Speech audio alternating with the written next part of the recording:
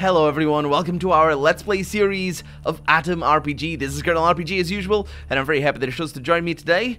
Oh, tab centers the, the character, that's pretty cool. I was messing around with the Alt key and the Tab key so I could see what, what was going on. I wonder, oh, yeah, he doesn't keep centered, but it is nighttime, and we are currently in Otradnoye. It's got the scale and all that sort of stuff, that's pretty cool. Uh, and we can rest, we could do that. Uh, and we got a few missions for different factions. Uh, we need to find the bunker 317, which is our main objective. And uh, we are going into the village, to see if anybody needs some help. And uh, I do know for a fact that some people do need help, and there's quite a few interesting missions in here. I could go and talk to, immediately to their leader. That's locked. Okay, let's try and make sure it isn't locked anymore. I failed to break the lock. Come on. There we go. It really sounds like you bro broke the lock because it reads broke the lock, but it's it's you picked the lock. I got some nails and a bottle with water. That looks like a plastic bottle to me, though. Hmm. I need to look at my crafting here. Oh, and by the way, this apparently it's it doesn't say that though, but it's because I got the game before um before the uh, the release version. So for anyone that bought it on early access, you get this thing. I didn't buy it on early access words. Uh, why am I... Was my strength bad? Please don't have my strength bad. What I did is I got the game for free. Thank you so much to the developers who sent the game my way. Uh, so yeah, look at that. We can make a... Uh, a bag with a bottle of water. That's kind of cool. A broken bottle. Aha, but that's a different bottle, so you can't make it with that. Kind of cool. Um, yeah, so the developer sent me the, the game, and uh, that's how I got it. I didn't say in the first episode. Uh, maybe I should have. Uh, but, uh, but yeah. So that's that's how I came across. Like, of course, I got links for you in the description if you want to check it out for yourself. Oh, we got more. Oh, that's an empty bottle, though. Ooh, they have descriptions and stuff. An empty pre-war bottle. You can get some water into it. Mm-hmm. And vodka as well. I don't know. Is it is vodka pronounced vodka? I've heard some people say vodka, but then again, you know, vodka is a famous and and uh, and uh, I'm I'm just taking the corn. I maybe shouldn't be taking the corn. I think I know who owns it or who should own it. Ooh, a waste paper. Some old forgotten papers and documents. Now it's used only for hygiene purposes. That's that's a good usage to, for for old newspapers. Although, honestly, I wouldn't do that um, because newspapers are are used to wipe your butt because they are so ubiquitous.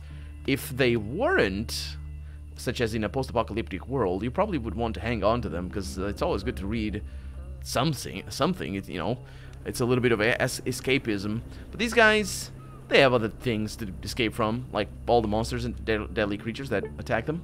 Let's have a chat with this fellow over here. Can I? Fur, fur, fur. You see, old man. Do you have a radio? Please don't have a radio. He does have a television. Okay, let's have a chat with him. An old man in his skull cap does what he always does. He opens and closes his toothless mouth, whistling some forgotten melody. That's probably what we heard. Upon seeing you, he squints his eyes at you. Hello there, Shawnee. You want to speak about something? Yeah, just getting to know the locals. Oh, oh the locals. Well, here am I. Uh, or here I am, he says. A local through and through. They send you to help me out, Sonny? Uh, not really. What What do you want? Oh, ashamed to ask, Sonny. I have this little corn patch at the back of my house.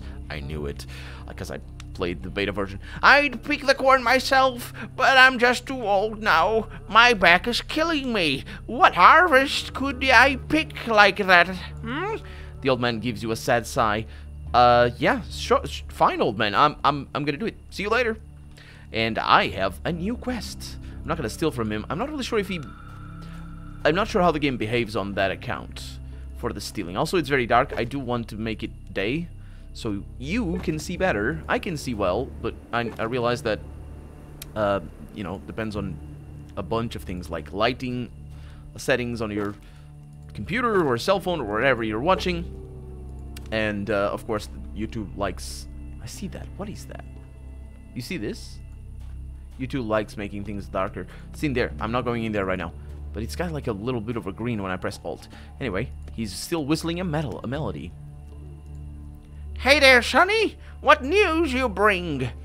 I, uh... he's actually, he's not whistling, he's mum, uh, mumbling.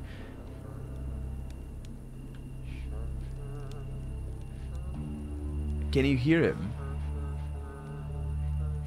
It's very quiet, but he's definitely doing Ah, boy. I picked your corn, old man. Oh, a real worker you are. You really helped out an old man.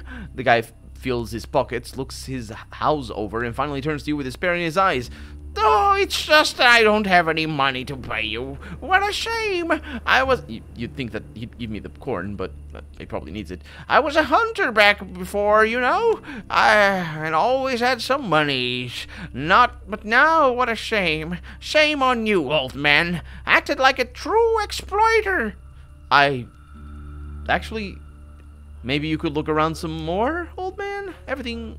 Every little thing helps. Uh, it's good to ask this because I know what the reward is. The old man does not listen to you. Finally, yes. Oh, it doesn't matter if you ask it or not. Uh, a smile comes to his face and he slaps his forehead.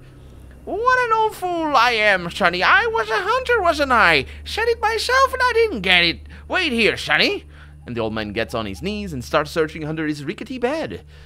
But finally, he pulls out his old shotgun. With a smile, he hands it to you. I never I never really understood why some games, usually it's JRPGs, also, well, the, the developers have their influence from wherever they want, it's fine, uh, but it's usually JRPGs that have like either bolded letters or usually in a different color, uh, like bolded words, I should say, not just the letters, uh, in different color or something. And it's usually like names of people or the items you're getting as rewards. And it's sort of weird. I don't know why that happens. I mean, you know, Japanese has just completely different notations in general uh, from from uh, from Latin alphabet languages and, and even Russian, I suppose. I think Russian has the same notations like exclamation mark and all that sort of stuff. So I don't know. Anyway, but yeah, that's that's what it reminds me of. Here, I don't really need it no more. Just to scare away the crows, I suppose. But you might find it useful, so here you go. Thanks a lot, old man. Just what I needed. You take the gun out of the old man's hands and look it over with interest. It's an old hunting car carbine. On uh, its wooden stock is an engraving, a heart pierced by an arrow. And I go away, and I have an old hunting rifle. Heck yeah, I do. Does it have ammo, though? How do I unload it? Can't unload it from here. Okay, I can if I click here. Good. Can reload, but I don't have ammo for it. There's no ammo. With ellipses at the end. okay, uh, so I'll save because I want to see what he does when I do this. And he doesn't do anything, so I'll take all of his waste paper. Oh, no, okay. Yeah, I'm not doing that. First time I'm loading the game, let's do it. So, oh yeah, you, you when you save the game, there's no way to name the save. I don't know if they, they will do that. Also, I probably should, uh, can I look... Yeah, there's no key binding. There's no setting for that. So... Suppose quick save. Right there. And the loading screen's all looking awesome. So I shouldn't take their take his stuff. Lesson learned. Thank you, old man. No problem, Sonny. Okay, off we go. Uh, where... What is this house? Somebody lives in there. Ooh, sneaks. Okay, how do I sneak? Hunger, that's not a sneak. What is this thing? Oh, that's cool. Oh, that's better than right-clicking then. Yeah, that's perfectly fine. This, okay, that's cool. What is this? That's the options. This is the character screen. Did I level up or get, get any? No? I wonder if there's going to be levels. There are going to be levels. Because this is a, a, game where you could just gain skill points without having to change the system. But, uh, Inspiration Fallout full on with that. Uh, okay, so uh, what I want to do is I want to sneak. So how do I sneak? One through and three uh, numbers don't do that. How do I do that? Shift? No, control. Oh, don't punch. Okay, that's good. 0% chance to hit the floor, and I missed. I'm very good at this. Um, yeah, I'm trying to figure. I'm just trying to figure out how to sneak because I don't know. Maybe it's uh, maybe it doesn't. Maybe it's automatically checked. Ooh, that's weird. And good.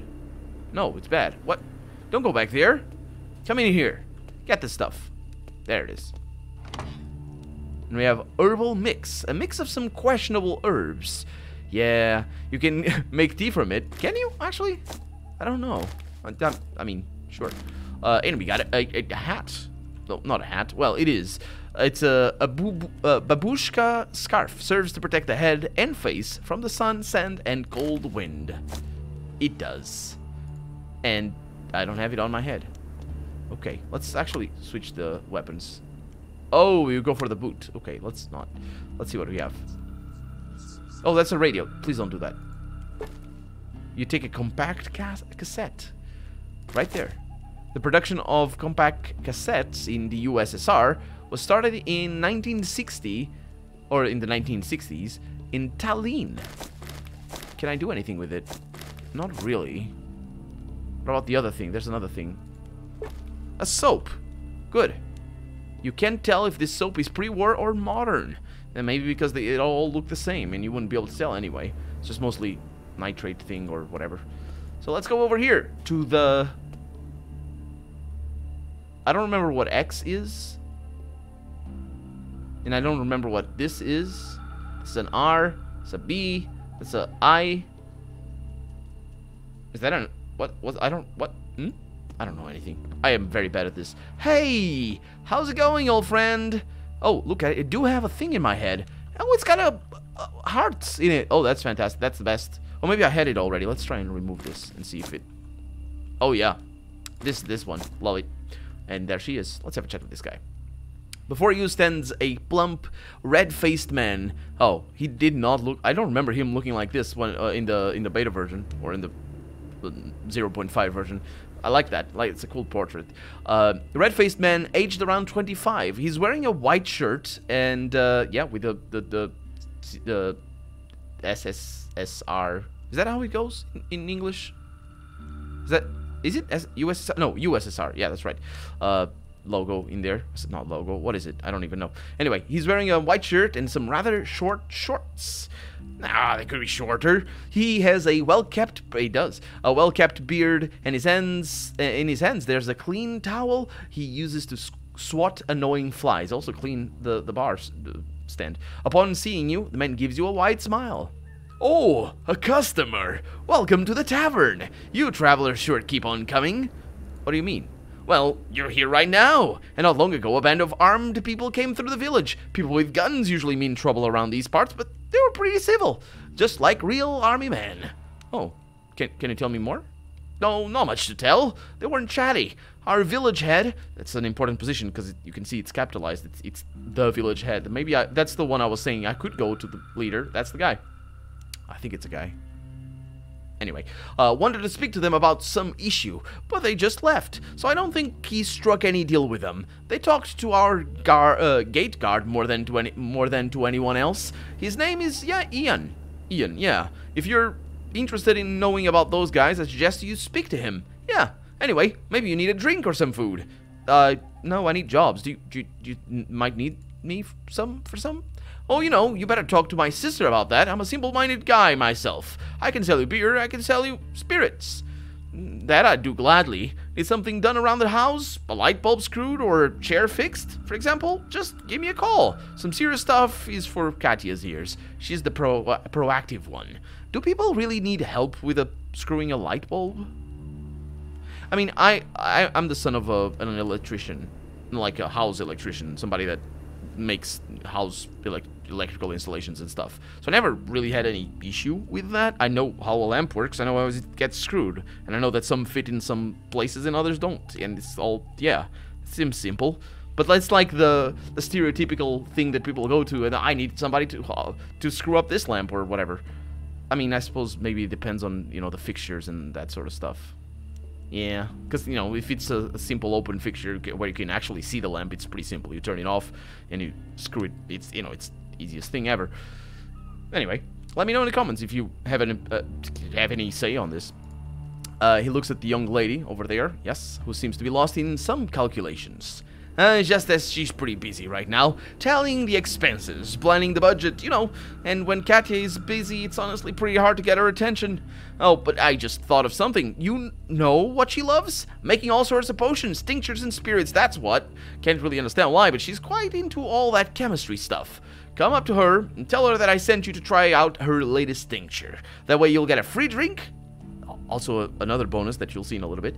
Uh, and also get to chat with her about stuff. Sly, huh? Pretty clever, methinks. Indeed. Uh, thanks for the advice. I, um, can I ask you some questions first, though? Oh, a pleasure. Ask away. Uh, how, so, how do you like working around here? Oh, not too bad. Great, even. Yeah, it's pretty great. Simple job, but well respected by the people, for obvious reasons. It, if there's a party of some sort, if there's a celebration due, or maybe even a burial, or Simply a day off of your job. Who's there to pour you a fine glass of your favorite poison? That's me, and that's why I'm liked by the people. He smiles warmly and pats himself on the belly. Ah, and there's money in it too. Yep, me and my sis, we're like, what's it called in the West? Independent and entrepreneurs. Well, she's much more entrepreneurial than me because she does all the paperwork, but still, yeah, glad you found your calling. Can I ask you some uh, another question? Um, tell me about yourself. Oh, what's there to tell? Me and Katya were locals, and we don't go out too much. I don't have anything against that. I, I, like it here, working as a bartender. That's my job, and that's Katya's job, is keeping the establishment from falling apart with her accounting skills. See, even now she's sitting over there with some documents, totally ignoring the world around her. That's okay. What would we do without her accounting? I don't even want to think about the job I'd have done. Yeah, well, I think you'd cope. Uh, I mean, would he? How? I suppose he would. Uh, care to ask some more questions? Um, so, uh, how's life out here? How's life? Huh, people here are more or less civil. And leaving itself, well, we don't suffer from hunger or sudden changes. To some, it sounds boring, but I really like it. I actually only ever changed one thing about this place. You actually only ever changed one thing.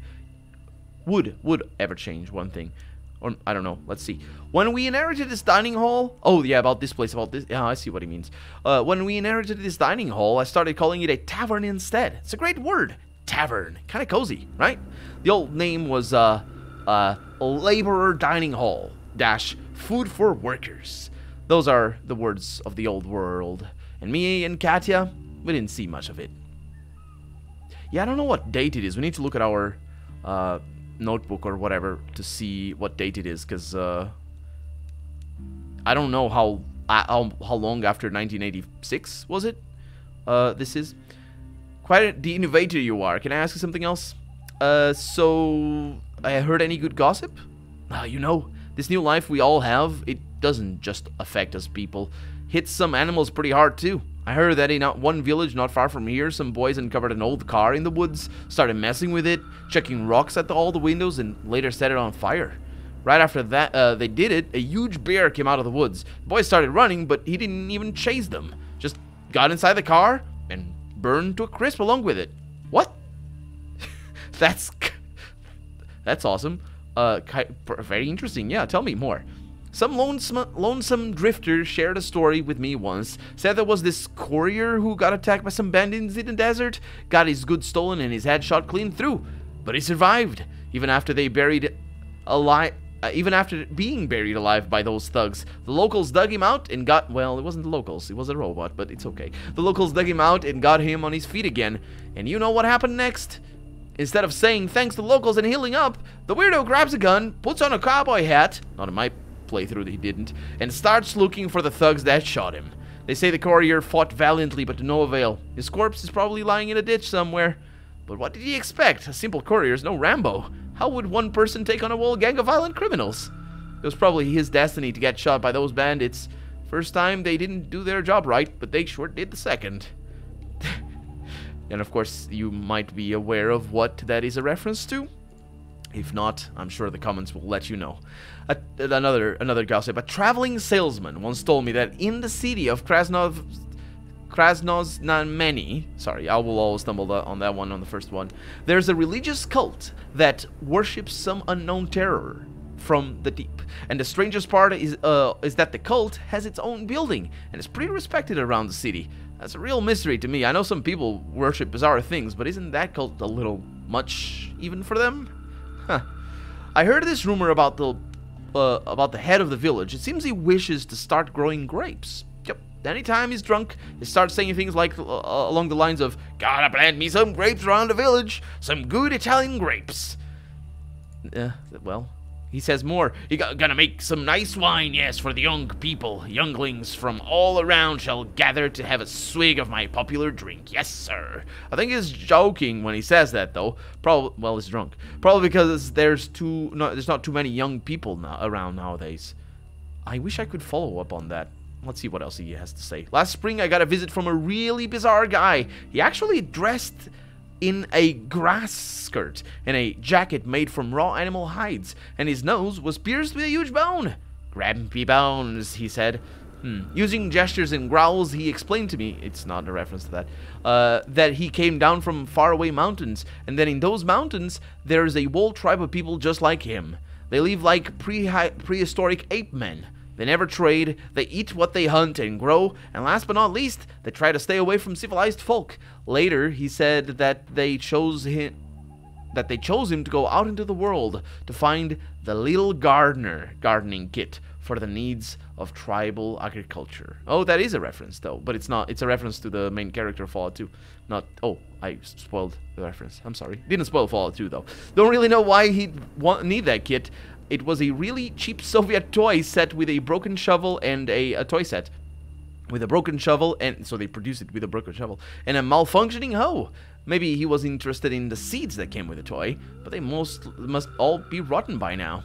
Anyway, most people have some sort of mental breakdown from time to time, and who am I to question it? Ian simply pointed the tribal in a random direction and he left. Good luck to him on his quest, I guess. Yeah.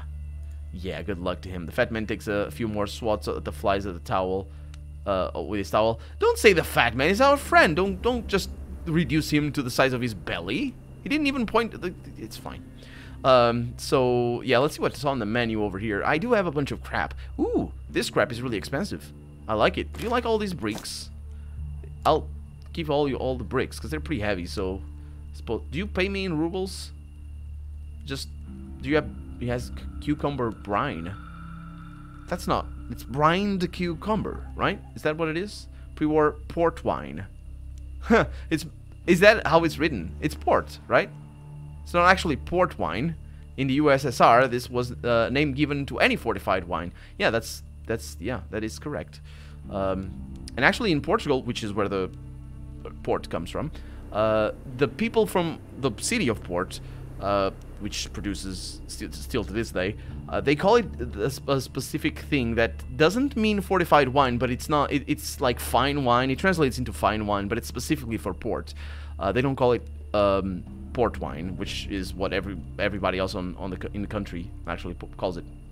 Not just port, port wine, because there's a distinction, of course, because the city is called port, and then you confuse people. Uh, but anyway, uh, pre-war vodka over there. Ah, they're rubles. Give me my rubles. 16. Oh, it's all it's automatically. I wonder if there's a like a uh, auto thing. Anyway, sold him some bricks. I better go. Hold on, friend. Maybe you'd like to hear a business proposal first.